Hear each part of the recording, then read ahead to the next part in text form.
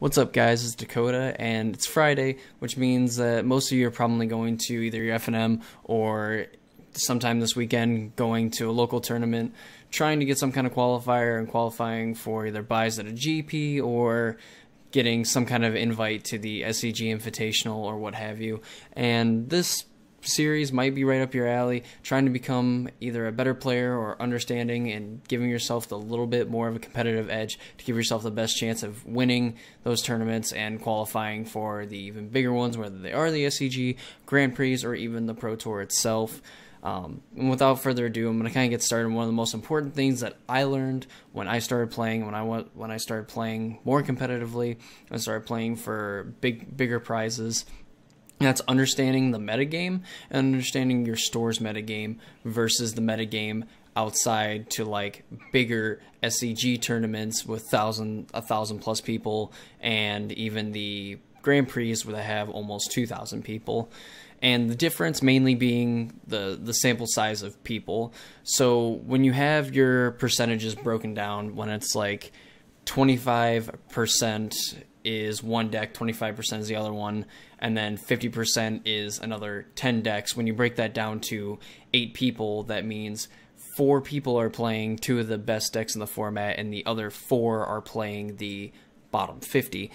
So in that case, you kind of have a better understanding like who's playing what, what your percentages of playing what deck are. Again, still the same relatively to a bigger one where still 50% is going to be playing either one of two decks, and while the other 50% is going to be playing something else that isn't the top two, you have a, a weirdly a better chance of playing someone who isn't playing one of the two than there is and playing against something that isn't necessarily something that you're going to test against or play against most often. So in bigger tournaments, you obviously play more rounds. The later you go and the more you win, the more you're going to be playing against other people who win, which are more than likely going to be the best decks in the format. So there becomes a, a point where you can kind of understand what you're going to be playing and having an idea of like when and what round you're going to be playing something or someone who has either a deck that's kind of their own sort of thing, or it is a meta deck indeed.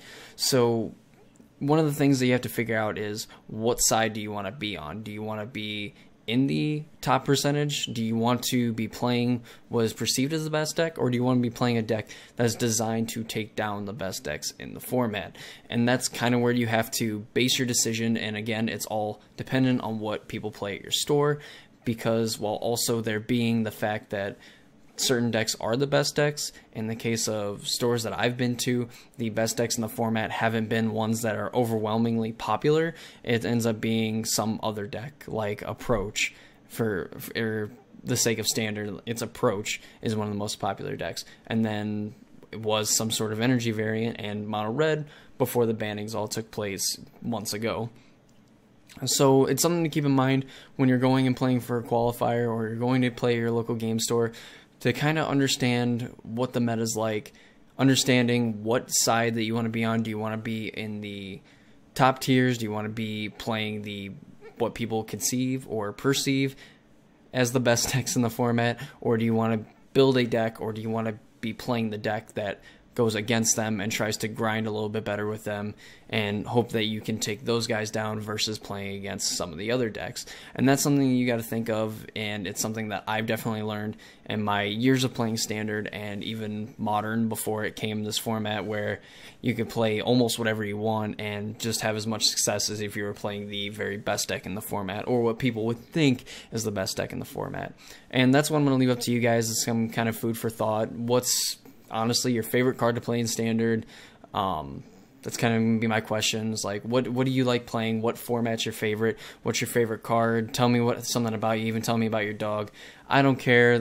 We kind of want to be a little bit more social. We kind of want to have some fun. So leave a like on the video if you enjoyed it, and if you want to see more like this, I'm gonna be trying to come out with more videos every Friday, kind of like this, helping out, being a little bit more helpful than this but uh, this being one of the stepping stones to becoming a better player and understanding why certain things are good and why sometimes always playing the best deck might not always be right when the card pool in a certain format is right to try to grind against it rather than playing with it.